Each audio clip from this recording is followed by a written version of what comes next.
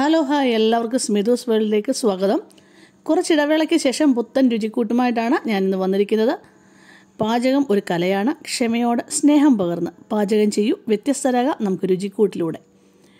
ഇന്ന് മലയാള തനിമയുള്ള ഒരു ചിക്കൻ കറിയാണ്. അത് എങ്ങനെ രുചിയോടെ വിളമ്പാം എന്ന് നമുക്ക് നോക്കാം. ഒന്നര കിലോ ചിക്കനാണ് എടുത്തിരിക്കുന്നത്. ഒന്ന് ഒന്നര കിലോ ചിക്കനുള്ള ഇൻഗ്രീഡിയൻസ് ആണ് ഞാനിന്ന് പറയുന്നത്.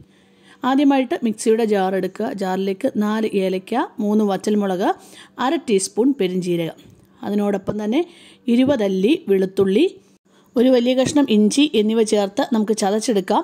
അടുപ്പത്തേക്കൊരു മൺചട്ടി വെച്ചിട്ടുണ്ട്. മൺചട്ടിയിൽ വെക്കുന്നത് ഏറ്റവും ടേസ്റ്റിയാണ്. അതിലേക്ക് കുറച്ച് വെളിച്ചെണ്ണ ഒഴിച്ച് വെളിച്ചെണ്ണ ചൂടായി കഴിഞ്ഞാൽ കാൽ കപ്പ് തേങ്ങാക്കൊത്തും നാല് പച്ചമുളകും കുറച്ച് കറിവേപ്പിലയും കൂടെ ചേർത്ത് നമുക്ക് തേങ്ങാക്കൊത്തൊന്ന് ബ്രൗൺ കളർ ആകുന്നിടം വരെ മൂപ്പിച്ചെടുക്കാവുന്നതാണ്. തേങ്ങാക്കൊത്ത് ഒരു ബ്രൗൺ കളർ ആയിട്ടുണ്ട്. ഈ സമയത്ത് നമ്മൾ ചതച്ചെടുത്ത ഇഞ്ചി വെളുത്തുള്ളി എല്ലാം കൂടെ നമുക്ക് അതിലേക്ക് ചേർത്ത് കൊടുക്കാവുന്നതാണ്.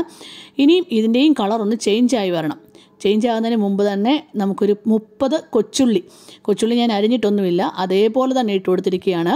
അതും കൂടെ ഇട്ട് നമുക്ക് നന്നായിട്ടൊന്ന് വഴച്ചെടുക്കാവുന്നതാണ് അതിന്റെ കളർ ചേഞ്ച് ആയി കഴിയുമ്പോൾ അരിഞ്ഞു വെച്ചിരിക്കുന്ന നാല് സവോള. സവോളയൊക്കെ അരിയുമ്പോൾ നല്ല തിന്നായിട്ട് അരിഞ്ഞെടുക്കണം. അതൊക്കെയാണ് ചിക്കൻ കറിയുടെ ടേസ്റ്റ് കൂട്ടുന്നത്. അതിനോടൊപ്പം തന്നെ ആവശ്യത്തിന് ഉപ്പും ചേർത്ത് വഴറ്റിയെടുക്കുക. ഇനി വഴറ്റിയെടുക്കുക എന്ന് പറഞ്ഞു കഴിഞ്ഞാൽ കളർ നല്ലതായിട്ട് ചേഞ്ച് ആവണം. നല്ല ബ്രൗൺ കളർ ആയ ശേഷം മാത്രമേ നമ്മൾ മസാലപ്പൊടികൾ ഇട്ട് കൊടുക്കാവൂ. ഇപ്പം നമുക്ക് കണ്ടാലറിയാം സവോളയുടെയൊക്കെ കളറ് നല്ലതായിട്ട് ചേഞ്ച് ആയിട്ടുണ്ട്.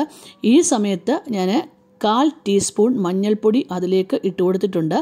മഞ്ഞൾപ്പൊടി ഇട്ട് കഴിഞ്ഞ് ഒരു മിനിറ്റ് ഒന്ന് ചൂടാക്കി എടുക്കണം. ചൂടാക്കി എടുത്ത ശേഷം മാത്രം ഒരു ടേബിൾ സ്പൂൺ മല്ലിപ്പൊടി ഇതിലേക്ക് ചേർത്ത് കൊടുക്കാവുന്നതാണ്. മല്ലിപ്പൊടി ഒരു ടേബിൾ സ്പൂൺ മാത്രം മതി. അതിൽ കൂടുതലായി കഴിഞ്ഞാൽ നമ്മുടെ കറിയുടെ ടേസ്റ്റ് മാറും. മല്ലിപ്പൊടി ഒന്ന് ചൂടായി കഴിഞ്ഞാൽ രണ്ടര ടേബിൾ സ്പൂൺ മുളക് പൊടിയാണ് ഞാൻ ഇട്ട് കൊടുത്തിരിക്കുന്നത്. കാശ്മീരി ചില്ലി ഒന്നുമല്ല.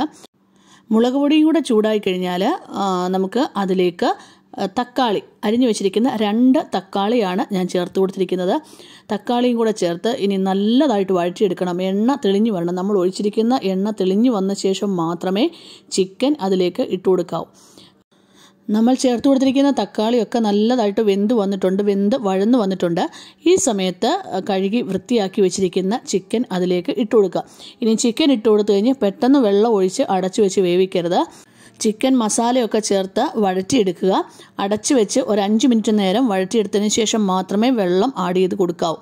ഇപ്പം നമുക്ക് കണ്ടാലറിയാം എണ്ണയൊക്കെ തെളിഞ്ഞ് ചിക്കൻ നല്ലതായിട്ട് വഴന്നു വന്നിട്ടുണ്ട്. ഇനി ഈ സമയത്ത് ഒരു കപ്പ് തിളപ്പിച്ച വെള്ളമാണ്. ഞാൻ നല്ല ചൂടോടെയുള്ള വെള്ളം തന്നെയാണ് ഒഴിച്ചു കൊടുത്തിരിക്കുന്നത്. ഇത്രയും മാത്രം മതി. വെള്ളം ഒരുപാട് വെള്ളമായി കഴിഞ്ഞാൽ നമ്മുടെ ചിക്കൻ കറിയുടെ ടേസ്റ്റ് നഷ്ടമാകും. ചിക്കൻ ഇപ്പോൾ വെന്ത് ചാറൊക്കെ നല്ലതായിട്ട് കുറുകി വന്നിട്ടുണ്ട്. ഈ സമയത്ത് തീ ഓഫ് ചെയ്യണം. തീ ഓഫ് ചെയ്ത് കഴിഞ്ഞ ശേഷം മാത്രം അര ടീസ്പൂൺ ഗരം മസാലപ്പൊടിയും ഒരു ടീസ്പൂൺ കുരുമുളക് പൊടിയും കൂടെ ചേർത്ത് ഒന്നുകൂടെ ഒന്ന് മിക്സ് ചെയ്ത് നമുക്ക് ചിക്കൻ കറി മാറ്റി വയ്ക്കാം ഇനി അടുപ്പത്തേക്ക് വേറൊരു പാൻ വയ്ക്കുക അതിൽ കുറച്ച് വെളിച്ചെണ്ണ ഒഴിക്കുക. വെളിച്ചെണ്ണയിലേക്ക് കാൽ ടീസ്പൂൺ കടുകും പത്തോ പതിനഞ്ചോ വെളുത്തുള്ളിയും രണ്ട് വറ്റൽമുളകും കുറച്ച് കറിവേപ്പിലയും കൂടെ ചേർത്ത് നമുക്ക് വറുത്തെടുക്കാവുന്നതാണ്. ഇതോടെ നമ്മുടെ ചിക്കൻ കറിയിലേക്ക് ചേർത്ത് കൊടുക്കാം. അങ്ങനെ വളരെ ടേസ്റ്റിൽ വളരെ ഈസി ആയിട്ട് ഒരു ചിക്കൻ കറി നമുക്ക് റെഡിയാക്കിയെടുക്കാം ചോറിന്റെ കൂടെയും ചപ്പാത്തി പൊറോട്ട ഇതിന്റെ കൂടെ ഒക്കെ വളരെ ടേസ്റ്റിയാണ്. എല്ലാവരും ഒന്ന് ട്രൈ ചെയ്ത് നോക്കിയോളൂ നിങ്ങൾക്ക് എല്ലാവർക്കും ഇഷ്ടമാകും. ഇഷ്ടമായെങ്കിൽ ലൈക്ക് ചെയ്യാവുന്നതാണ് ഷെയർ ചെയ്യാവുന്നതാണ് സബ്സ്ക്രൈബ് ചെയ്യുക കമന്റ് ബോക്സിൽ കമന്റ് ചെയ്യാം. Thank for watching.